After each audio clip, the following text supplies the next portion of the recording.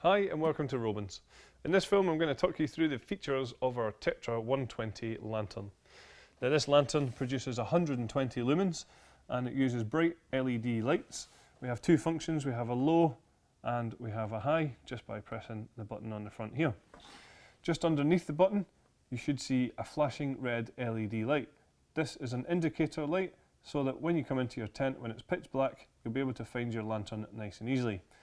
The lantern can either be used as a tabletop lantern or it can be hung using the clip on the top here like so and it has on the inside here these reflectors which really create a good wide light.